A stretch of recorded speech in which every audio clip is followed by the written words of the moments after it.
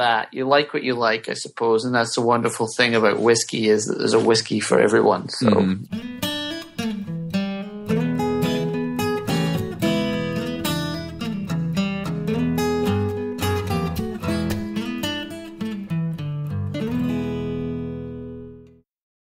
Do you ever pour yourself a bourbon, swirl it around, and then start struggling to come up with tasting notes? And perhaps you're also looking for a good Father's Day gift idea. Well, you can now solve both with a kit from Nose Your Bourbon. And unlike other nosing kits on the market, Nose Your Bourbon kits feature real ingredients for the most authentic aromas. You can smell real Tahitian vanilla bean instead of some synthetic aroma that's just made from chemicals. So head on over to noseyourbourbon.com and enter code BP10 for 10% off your order. Ed Bly and Rising Tide Spirits are back again with a new release of Old Stubborn Bourbon. And this release of Old Stubborn is a premium hand marriage of 10, 11, and 12 year cask strength, barely filtered pot still bourbon. It comes in at a staggering 123.8 proof. And the flavoring grain for this one, which the last one was wheated, but this time it's now rye. Rich, sweet, and bold with a long finish that's sure to be another eye opener. You can order online at Seelbach's or thebourbonconcierge.com, and you can even purchase in person at Revival Vintage Spirits, and even now with very few select stores in Kentucky. You can get it now while you can, but be sure to do it because it's not going to last long. Always find what you love at Total Wine and More. With so many great bottles to choose from at the lowest price, it's easy to find your favorite Cabernet or a new single barrel bourbon to try with some help from one of their friendly guides. And with every bottle comes the confidence of knowing you just found something amazing. With the lowest prices for over 30 years, find what you love and love what you find only at Total Wine and More. Curbside pickup and delivery available in most areas. Visit TotalWine.com to learn more. Spirits not sold in Virginia, and North Carolina. Drink responsibly and B21. From their bar to yours, Chad and Sarah of the popular YouTube channel It's Bourbon Night bring you their favorite at home old fashioned mix with the new Elemental Elixirs Golden Hour Syrup. It's a custom made syrup with notes of bold black tea, warm spices, and orange zest. All you need is your favorite whiskey and ice. No bitters needed. One bottle makes 16 drinks, so that's only $1 a cocktail before you add your own whiskey. They can also be enjoyed in other cocktails or spirits, mocktails, coffee, tea, and anything you can think of. It's crafted locally in Lexington, Kentucky, and you can get your bottle now at whiskeyambitions.com. Play Whiskey Wednesday, round 11, the memory game. Until June 26. Each week, you can win one of our 12 incredible grand prizes. Select two doors at checkout. And if they match on drawing night, you'll win that bottle. Not a match? No worries. You still score a Weller 12 year. Every $5 ticket gives you five chances to win, including four weekly bonus prizes. Get your tickets now at give270.org. Charitable Gaming License ORG 0002703.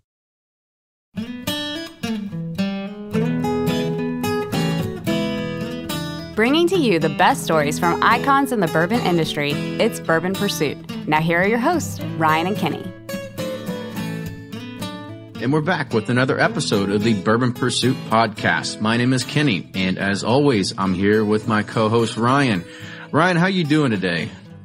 Doing well, sir. Thank you. I'm super excited uh, about today's show. Um, we have Ewan from Diageo Brands. Uh, Diageo, I really knew nothing about until I met you and started collecting bourbon. And I think the orphan barrels were kind of the first thing that got me interested in Diageo and stuff. So just really interested to talk to you and about, you know, all the orphan barrel products and, you know, Blade of Bow and what Diageo has uh, upcoming and stuff. Yeah, I mean, I think it's really interesting that that Diageo is. If anybody doesn't know, I mean, Diageo is a massive company. Like it's a it's a very very big company. Like they're like they're like the the Coca Cola or like the Walmart of spirits, right? I mean, it's it's huge, and they they they haven't always been a, bourbon company, but you know, as of recently, you know, with the acquisition of Bulleit, um, with coming out with Orphan Barrels and Blade and Bow, they're they're definitely showing a, a new sides of themselves. So I mean, I guess you know, not only with that, you know, kind of even talking about this past weekend, I did a uh, I did a tasting, and we actually had a few different bottles there, and one somebody actually brought the the latest release of Blade and Bow, the, the non age dated, like the the blue one with the key hanging down, you know, the fancy little key dangling down, which is which is always a, good attraction on the on the shelf. And we we had that compared against a forged oak, compared against an E. H. Taylor barrel proof, and you know, of course they're they're not you know barrel proof compared to the other ones. It had a different different set to it, but when you compared the blade and bow to the forged oak, there was definitely some similarities. And I, I actually kind of preferred the forged oak a little bit over it over the blade and bow. But I mean that that that's always going to be a, a difference in you know where the burls are sourced from and all this other kind of things that go into it. But you know, you don't want to hear this from us. Let's let's talk about the man of the hour here. So today we have Ewan Morgan. Ewan is the the national director for Diageo's Masters of Whiskey. You know, I think this is pretty cool because uh, uh, he's kind of a man that's almost like in a similar role to mine in a in a day to day business, right? So my role is to be like a an evangelist or an advocate for different kinds of technology, and he gets to be an advocate for whiskey, which I think is uh, sounds like a much cooler gig than what I have. Yeah, yours is lame. So. so, Ewan, welcome to the show. Hello, pleased to be here. Hi, guys. How you doing Hello. today, Ewan? You doing all right? I'm doing very well indeed. Good. Thank good, you for good. having me on the show. So you sound like you're from a part of Texas we've never seen before. Yeah, I'm from uh, just outside Austin. uh, Austin, no, Massachusetts. I'm from, I'm from uh, I'm from an area of Scotland called Speyside. So for those people who like their single malts, they probably recognise that region, and that's where that's where I grew up. But I live here in the United States now. I've lived here for just under five years. Well, good deal. So I guess tell us, you know, your love story with bourbon or maybe whiskeys in general. So so how'd you get into this this industry to begin with? Well, I was born into it, is the easy answer. So I'm third generation whiskeys. My dad was a, a, distillery manager, and he, he actually ended up his career working at a distillery called Highland Park, but he worked at Speyside before that, and the distillery that I grew up on, called Tamdhu, and uh, before that, my grandfather, he was actually the brewer at another distillery called Cardhu. And Cardhu is very famous amongst single malt lovers because it was the first distillery that the, the Walker family of Johnnie Walker fame bought in 1893. And it's been a, a key component in their blends ever since. So yeah, I was, I was born into it. And as I tell people, I didn't really have an option which career path I was going to take, but I think I fell, fell pretty happily into a really nice, industry that you know I love. Well, yeah, I think now's a good time to be in it more than anything ever, right? I think it's uh, it's it's it's it's definitely flourished to the point where you could you could say that you've you've almost come to like a culmination or a peak in, in that in that uh, line of work too.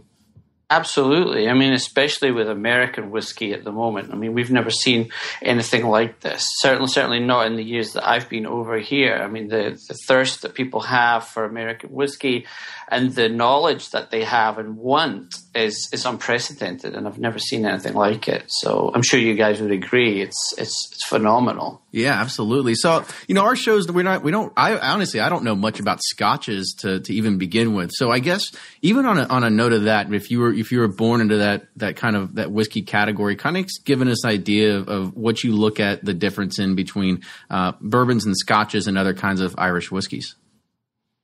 Well, uh, that that's a really good question, and you have you look at them in the same way. To be honest, I mean, first of all, you look at color, and then you do the aroma, and then you do the taste and and the finish, and so on. So, in terms of your sensory analysis stuff, it's very similar, but where they do differ is in the way that they're produced. So, single malt whiskies in Scotland are only produced from 100% malted barley, as opposed to here in the US, when you look at something like a bourbon, you have to be at least 51% corn and your mash bill. And if you're a rye, you have to be at least 51% rye in there. So you, you guys generally have a, a different mash bill Whereas we, us in Scotland, we stick to the one grain, especially with single malts or, or, exactly with single malts. But if you're looking at grain whiskies in Scotland, like we produce at Cameron Bridge Distillery, which is a, a huge, huge distillery in Scotland, uh, and where we have a mixture of wheat, wheated whiskies in there as well, and we have whiskies made with maize and corn as well. So we will actually have mash bill whiskies for, for our grain whiskies. But our single malts are only 100% malted barley and generally we only use used casks as well. And most of our used casks come from you guys here in the United States. In fact, more than 90% of the whiskies that we have maturing in Scotland actually come from the United States. So if it wasn't for the bourbon industry, the Scotch industry really couldn't be where it is today either. So there's a wonderful sense of synergy that goes on between the two industries also. Oh, that's great. Awesome. So the only thing I well, sorry, no, go ahead, go ahead, Ryan. The only Irish whiskey I've enjoyed is the Redbreast. Uh, it was pretty good. Everything else seems to taste like a twig to me.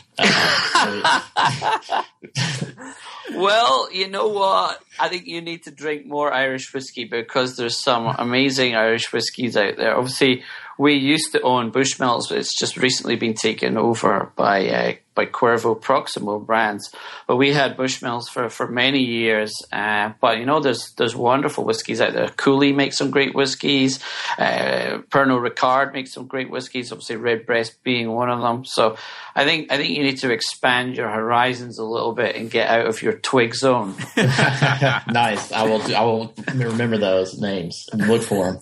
I mean, with like with anything else, I mean, it's all an acquired taste, right? So there's no way. I mean, I can tell you myself, anybody that drinks bourbon for the first time, they're gonna hate it. But after a while, you start liking it, and I think maybe bourbon has that little bit more of a, a beginner's flair to it because it is sweeter. It might be a little bit easier, you know, like scotches. You know, I can't tell you that I ever drink it, right? But people always talk about the peatiness of it, right? And uh, it's definitely a little bit more bitter to it. But I think any way you go, it's definitely going to be an acquired taste.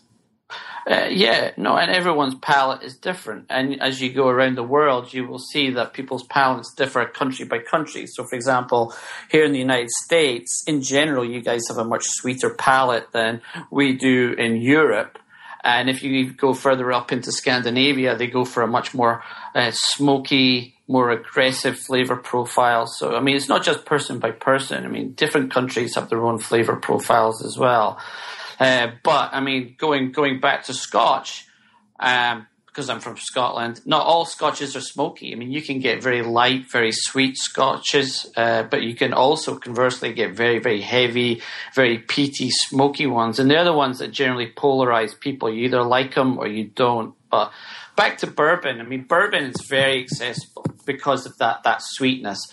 And if you're taking like a, something around an 80 proof bourbon and you're mixing it up in like a julep or you're putting it into a cocktail or like something like a buck with ginger beer and fruit, then, you know, that's a drink that anyone can enjoy. Anyone of legal drinking age, I hasten to add. And, uh, you know, even my wife who doesn't like whiskey at all, she can drink bourbon cocktails, whereas if I offered her a scotch cocktail, she would probably uh, not be so keen on that idea. Well, good. Well, she can come hang out with us then.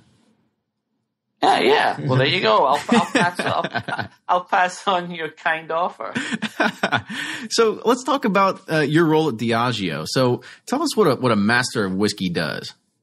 A master of whiskey, uh, again, as I was telling you earlier, is slightly auspicious title, is actually an earned title. And uh, we're the only ambassador program out there where you actually have to earn that title. And that goes through various dis- different stipulations and checkpoints where they have to pass industry exams, they have to do internships at distilleries, not just in Scotland, but here in the United States. They have written exams to do as well. And, and it takes roughly about a year to a year and a half for them to go through all of these different parts of the process in order for them to become a master of whiskey. But their day to day job is education. They're out there all over the country talking about whiskey, educating bartenders, talking to consumers, doing dinners, uh, work as well as self-educating themselves at the same time. So it's it's a full-time job and it's 100% whiskey. That's all they talk about and that's pretty much all they want to talk about as well. We find a very unique breed of people who are uh, obsessive about whiskey and they want that to be their career. So I guess how would you get started in, a, in something like that? I mean, is it just like I can look on, uh, you know, LinkedIn or any kind of job board for a, a master of whiskey kind of uh, role? I mean, like, do you have to kind of have your your beginnings in a in a distillery somewhere, and then you start looking at the paperwork of taking all those exams? Um, no, uh, and in fact, if you looked at our current roster, we have we have a wide gamut of talent. So we have people who've come from the bartending community. We have people who've worked previously in distilleries. We have people who've worked within distributors. Uh, we've had we even have a ex Hollywood movie stuntman at the moment who's one of our masters of whiskey, and it's really the raw passion that we're looking for. So if they have the passion for it and they can handle the extremely long antisocial hours and extensive travel, then we will take them on and then we will train them up and we will get them up to a level that, that we're comfortable with that we can we can let them out there and they can start doing their own seminars. And we have our ambassadors who cover things like Tales of the Cocktail in New Orleans every year and we send them down there and they do seminars on rye and we're doing ones on MGP LDI coming up. Uh, so yeah no they're they're a very different breed and they're extremely hardworking and they're out there all the time just talking about whiskey and preaching the good word so now that we kind of hit on a little bit earlier about how Diageo is starting to, you know, turn a turn a new leaf and start showing bourbon as a as a one of their flagship brands, uh, kind of talk about maybe a little bit how Diageo started getting into bourbon when uh, it had all these other whiskey brands that weren't necessarily uh, categorized as bourbon. So they to to get into it in its purest sense, they got into it when they acquired part of Seagram's, and with that acquisition of that part of Seagram's came Bulleit Bourbon with it. So that that was really their first foray and their first step into North American whiskey. Although they own Crown Royal as well, but that's deemed as a Canadian whiskey, their first bourbons that they were taking in and, and marketing and selling was Bulleit. And it kind of really kind of moved on from there. I mean, Bulleit was a fairly small brand when Diageo acquired it, and now you see Bulleit everywhere. Uh, it's the best selling rye in the world. It's in every bar that you go into. So the success of Bulleit has, has really been a great springboard for us which has then moved us on in recent years into the more of the innovation stuff that we've seen coming through, specifically with the Orphan Barrel project and also with the upcoming Blade and Bow projects as well. So we're we're just starting to get really really serious about our our bourbon expansion and obviously putting a sizable investment into the, the Shelby County distillery, $115 million that are going into there. That's going to be the, the new distilling home of Bulleit Bourbon as well. So Diageo are definitely back in the game in terms of, of bourbon.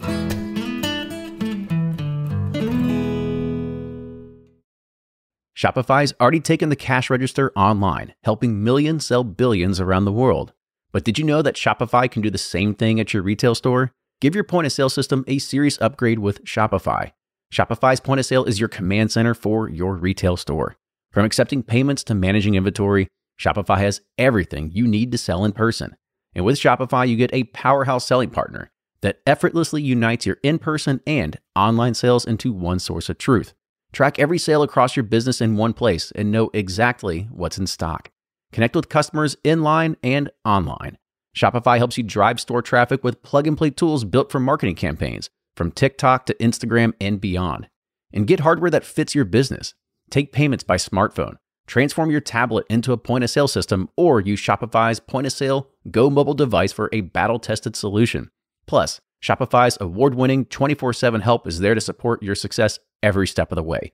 Do retail right with Shopify. Sign up for a $1 per month trial period at shopify.com slash bourbon, all lowercase, and go to shopify.com slash bourbon to take your retail business to the next level today. Shopify.com slash bourbon. If you're anything like me, then you can't get enough about bourbon. And that's why I'm a subscriber to Bourbon Plus magazine. Bourbon Plus is a quarterly publication that tells the stories from the heart of bourbon, the farmers who grow the grain, the distillers who labor over the process, and the people like you and me who raise their glasses to celebrate it all. Subscribe to Bourbon Plus magazine today at bourbonplus.com, that's P L U S.com, and use code PURSUIT at checkout for $5 off your subscription.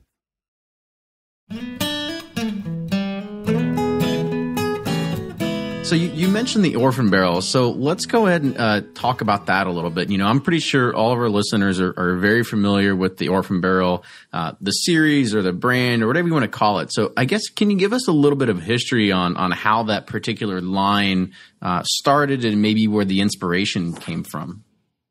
Well, the inspiration for it came from our our people who were working at Stitzel-Weller who were walking around our warehouses, scratching their heads, looking at how much whiskey we had on site there. And we only had a limited amount of projects that they were assigned to. Obviously, we had IW Harper going to Asia uh, and we had the Bulleit project going, but we had all this other liquid, and we were looking at it, and some of this liquid was getting pretty old. I mean, Old Blowhard, for example, was 26 years old at that point. And if we'd left that one another year, then we don't really know what we would have done with it. We certainly couldn't release it as a as a bottling. It would have had to have been mingled into something else. So it, it came born of frustration more than anything else. And and we were talking to the people and uh, at Stitzel, and they're like, you know what, we need to release this stuff. This liquid is great. We need to find a way of getting this out into market so people can taste it before it gets too old.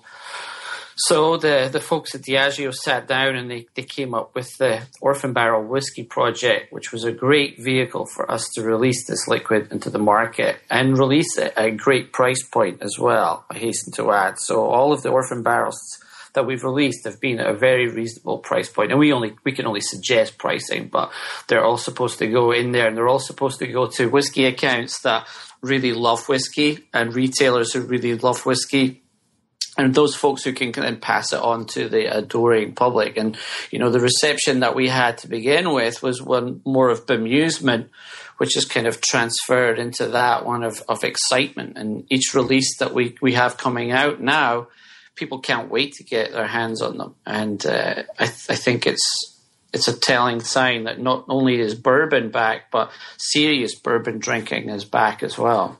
Yeah, I think you're right when you say that because anything that, that has a, an age statement or anything that is even higher than, say, 12 years that stuff just happens to fly off the shelf. So, you know, I guess it, it's also kind of coming back to uh, maybe it's a shelf trophy if I've got a, a 22 or a 26 year old bourbon or something like that. But uh, at the same time, this is something that a lot of people really want to own now. They, they want these higher end brands and, and not just something that's uh, a non age stated, you know, like two to four or six year bourbon that's, that's all kind of mixed together. So I think that's, that's one of the biggest attractions to this orphan barrel line anyway. Yeah, and, and what I would say is you also get fantastic non-age statement whiskies. Uh, so there, there's not nothing against them at all. But I mean, the fact that we had this older liquid there, and it had great flavor profile, great character, and then we had this new project that we were able to release them out for people to taste was extremely exciting for, for not just me but everyone who was working on this project. And so, yeah, not not really like the artwork of each bottle. They're really cool and different from anything you see out there. How did you all? Who designed those, and how did y'all come up with those designs? So we uh, employed an agency in New York called Raison d'etre, and they're extremely artistic agency, and, and you can see that from all the bottlings. They all have their own unique style and and the ones that have the animals on them, like if you see the animals, that's supposed to, to represent the, the spirit animal that's within the bottle. So with with Barterhouse, you have that kind of crafty fox there, and then Old Blowhard was the whale because it was a it was a big big whiskey, and then you go through to things like uh, Lost Prophet, and you have the sheep on there as of the lost sheep. So it's all kind of supposed to signify the the story of of the spirit animal within the liquid whether you want you to get that so esoteric. But no, people love the packaging. And the one I'm, i really like at the moment is the rhetoric. And, you know, that's going to be a progressively aged bourbon. And as each one gets released, there's like a wooden veneer on that label. And that, that veneer will get darker as they progress. So each one will look different as it progresses. And the liquid within it will also be getting darker, obviously, with those additional years of maturation. Well, that's fantastic to know because uh, the first rhetoric was was it twenty years? Is that what it was? It, yep, it was twenty years. Twenty years, ninety and, proof. Yeah, and then the new one actually just started hitting shelves, and it's the twenty one year. That makes makes sense now.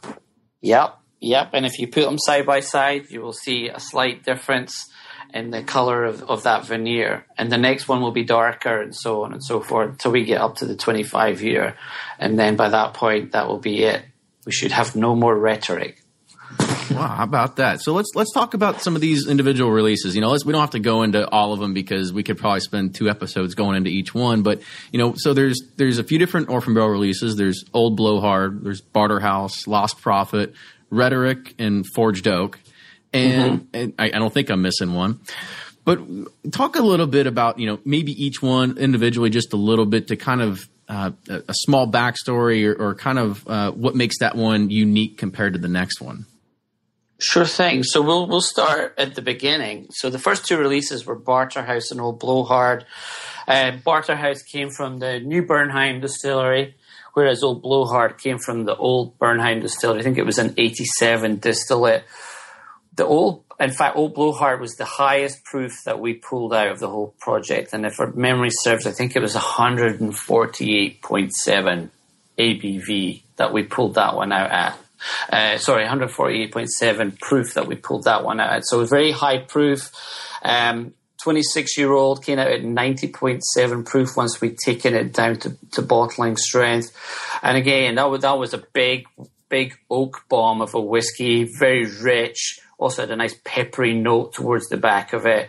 Uh, and it was one of those ones. It was it was like smoky whiskey. You you either loved it or or it was a little bit too oaky for you. And we've had people who've been obsessive about it. Uh, and that was a one time release, so you will never see Old Blowhard again. So if you do have a bottle, uh, either drink it with caution uh, or or hold on to it because we're seeing that one going for crazy prices in the aftermarket already. Maybe that's why um, you don't share with all your friends on day one. maybe not. Maybe not. Uh, Barterhouse was a 20 year old that came from New Bernheim. Uh, mash bill on both of those actually was 86 corn, 8 barley, and 6 rye.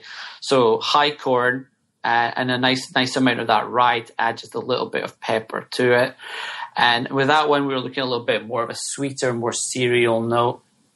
And then we moved into rhetoric, which was uh, the progressively aged, as I just said. And that was a mixture of both new and old Bernheim liquid that were in there. So obviously the same mash bill coming through. Um, and we had a real great following on that one. People really loved it. it. Had a bit more of a kind of spicy cedar note to it. And then we moved into my favorite to date, which was Lost Prophet which was a 22 year old 90.1 proof, which came through. And then the, the mash bill on that one was uh, roughly 78% corn, 10% barley, and then 15% rye. So a high rye mash bill on that one.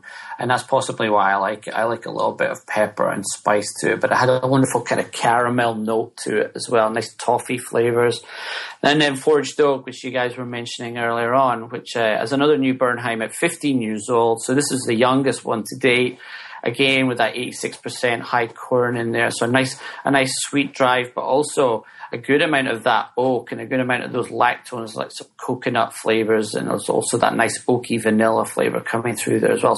So they're, they're all very different, and uh, the next ones that are coming through as well. In fact, after Rhetoric 21, the one after that is my new favorite, and I can't tell you anything about it other than it's delicious. Oh, oh, come on. Yeah, I know. You think we were going to get some good information. We're like, we're going to blow up after this. yeah, I can tell you it's a straight bourbon. I guess and we'll take it. And it's going to be in a bottle, and it will probably have an animal on it. So that, that's all you're getting. we'll take uh, it. Yeah, we'll we'll see if we can sell that information to Vanity Fair or something so you know you talked about you know old blowhard being you know that that bottling was the last of it like there's never gonna be any of it again so with the releases that are out um, you know you talked about rhetoric having a five year lifespan and after that it's all gone what about you know um, Barterhouse and Lost Prophet and Forged Oak because I think what I've seen already is that some new Barterhouses, some new batches are starting to slowly show up on the market. Yep, yep. So you're seeing batch two of Barterhouse. Uh, you will probably also see a more batches of forged oak coming through. But as regards Lost Prophet, that's another one that if you have a bottle of it, then then treat it with the respect it deserves because you're never going to see it again because it's all gone. Um, but back to Barterhouse and, and Forged Oak, yep, you're going to see second batches of Forged Oak and we're already seeing the second batches of Barterhouse out in market as well. Uh, and we do not have a finite resource on this liquid as well, so I actually do not know how many batches they will be getting through from it. Um, we will have other releases coming, but I cannot tell you how many. Yeah, I mean, so that's that's really awesome to know because you know, we, we talk to a lot of people, and of course, anybody ever asks you, they say they, they show you a bottle and they say, uh, "Is this a good bourbon? You know, can can I still get it? You know, when I go back home or something like that." And you know, when they whenever I get a picture and they show me any kind of orphan barrel, it's it's always hard to know because there's this this whole thing of like, well, was it really marketing to say it's an orphan barrel? Then that's that's it. Like it'll never be found again. But but now we've heard the truth that there's actually two different versions that you know this is it. Like it's it's done for. And now that we know that eventually the rest of these batches will will run out too, so um, they they will dry up at some point. Yeah, everything dries up at some point. Um, but what, going back to what I was saying with uh, Old Blowhard and Lost Prophet, we get asked about those a lot if we're going to be having other releases of them, and we are not. There is no more juice left at all. Well, that's great to know. Interesting. So, if you probably had a chance to try them all, so can you tell us, like, maybe? I guess you kind of talked about your favorite of being Forged Oak. I guess can you talk about maybe some of the notes in the new one that that is your new favorite? No, Lost Prophet is my favorite. Oh, Lost Prophet. See, I see, I kind of attention span and that I have. but you're not you're not supposed to have a favorite kid, even if they are an orphan. So I don't know. it's. Uh, but the the new one that I can't really tell you about, uh, the the flavor profile on it is extremely unique, and you're just gonna have to wait and see. And I can't wait for it to come out because the the backstory behind it is is great, and the liquid is even better. It's phenomenal. Well, good. So since we have a we have that to anticipate, now there is actually another release that has already hit stores and already hit shelves, and there's already pictures of it, and people always asking questions of, uh, is this another Orphan Barrel release, or is this uh, just going to be something that we're always going to be able to find on the shelf? So let's talk a little bit about Blade and Bow. I know that there's two different releases, so can you kind of talk about the differences between them? Sure thing. So there's going to be a base release which is going to be a Solera system driven liquid, which we can talk about a little bit in a minute. And then there's also going to be a limited edition 22 year old release as well.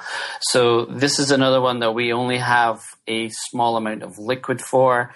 Uh, obviously, for those people who keep their eyes on the, the awards and stuff, it was just offer, awarded double gold in San Francisco as best straight bourbon.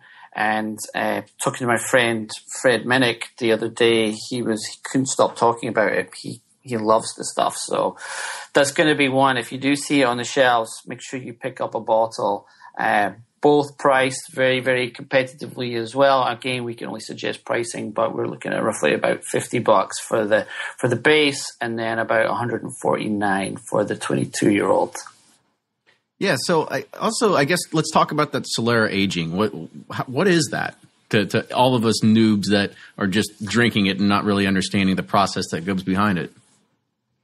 So, uh, in order to explain it over the phone is probably not not ideal without a picture, but it's similar. In fact, it's it's very similar to what they do in the rum industry. So, for example, if you go to Ron Zacapa, they have a Solera aging system there. Um, and what they're doing is they have at, at Stitzel, they have these five different levels, so five different layers of barrels. And what they're doing is they're taking the youngest liquid, and then that will go into the top barrel, and then that will slowly move down. So there's always going to be a constant mix going into the level below it and there's also going to be in there, there's also going to be some of the last distillate from Stitzel as well.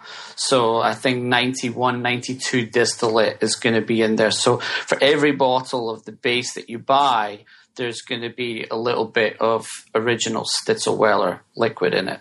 So it's a it's a fairly complex way of making sure that you're you're mixing both young and old liquid together. So you're getting a kind of a juxtaposition of flavor going on. And I don't know if you guys have had a chance to taste it yet, but it's delicious.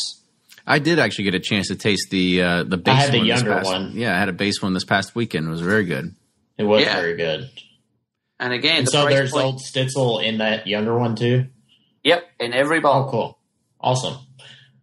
so this, I'll talk talk about like the marketing behind it because it, you show up and it was a we went to a tasting this weekend and somebody showed up with the bottle and it's got this this fancy little key dangling from it. So what's what's the significance of the key and uh, the blade and bow name in general?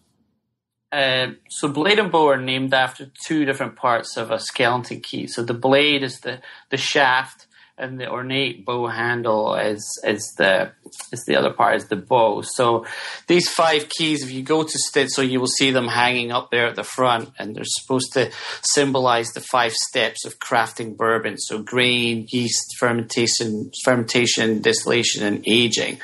Um, and also, these keys were supposed to symbolize this kind of great southern tradition of hospitality and warmth and enjoying the finer things in life. So, if you pop along to Stitzel, you'll you'll see them hanging there. Well, it's good to know. And then now some of the, our listeners may not know, you know, I guess if you're, if you've into, if you're into bourbon and maybe you've never heard of Stitzelweller, Stitzelweller is a name that uh, is is something that's always thrown around. It has a very, very rich history in the bourbon industry. It's what made Pappy Van Winkle, Pappy Van Winkle, and it's what people go crazy for. And now Diageo, um, has made Stitzel Weller their new home. It's it's where the the Bulleit Frontier experience is, and I guess you know to you, and maybe you can speak on on half of Diageo. You know, what does it mean to call Old Stitzel Weller uh, that distillery your home now?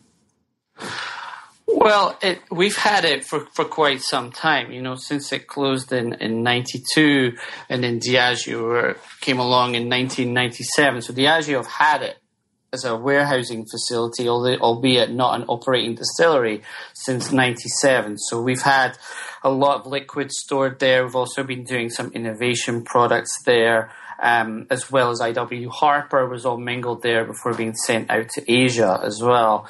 So it's always been people on site, although not making whiskey. But you know, we now have a craft distillery operational on site uh, at Stitzelweller. And, you know, it's really wonderful that we, we have this great place, that all this history is there, you know, all of the stories that go along with it. When people come, it's almost like they're, they're coming to church. People have these kind of bourbon epiphanies when they walk in and people have different reactions. And, you know, it's, it's just wonderful to have this this facility, and we're going to be doing like training courses there as well, as well as the fact that we have all the orphan barrel stuff going on there, and and the Bulleit bottling line is there, and the the blade and bow is all being bottled there as well. So it, has gone from being a fairly fairly quiet place um, to place that's now actually busy, you know, and there's a lot of bourbon coming out of there, and we're getting a lot of visitors through the door as well. So you know, it's it's wonderful. Yeah, I, I could, could, be happier. Yeah, I could totally see that as uh, you need to put like a, a bowl out there with some bourbon in it, and people can dip their two fingers in it and do the sign of the cross as they first enter. If you're gonna you're gonna call it the church. It's like yeah. going to the Roma bourbon. Just it's a Weller well, that exactly, you know, and and back to what you guys were saying, you know, people have such a, a voracious appetite for anything bourbon at the moment, and to give them an opportunity to come and see where these iconic brands were created, you know, like like the Van Winkle family who had it for many years, uh, and then obviously you go way back and you look at things like George Dickel was made there for a while, and you know, there's, there's some great great stories that come out of that place, and you know, having a, a rare opportunity to visit somewhere like that here in the United States is is phenomenal. Well, thank you very much, Ewan, for being on the show today. We're, we're getting to that, that top of that 30 minute mark, and uh, definitely wanted to say thank you for coming on here, uh, representing Diageo and talking a little about the orphan barrel process and the releases. And hopefully, we can have you on the show a little bit later on and talk about later releases that, that will be coming out as well. I'd be happy to. Is that it? I could talk for like another two hours if you want. Can, we can keep on trucking. I'll give you 30 seconds. Go. well, you have to ask me a question. What do you want to know? uh, let's see. Let's see. Let's see. How much um, Stitzel Weller juice do you have on hand? Uh oh. There we go. Here in my office, I have two. li- I'm looking at two liters of it in front of me right now. Uh, nice. That's all I can. That's all I can tell you. I hear you. there we go. All right. Well, thank you very much again, Ewan. If you like what you hear, make sure you subscribe to us on iTunes. You can find us if you go to it and just type in Bourbon Pursuit. You can follow us on Instagram and Facebook at Bourbon Pursuit, uh, and also follow us on Twitter at Bourbon Pursuit. Yeah, thanks, Ewan. Again, that was really awesome and interesting. And uh, if you guys have any suggestions or feedback, let us know, and uh, we'll see you next time.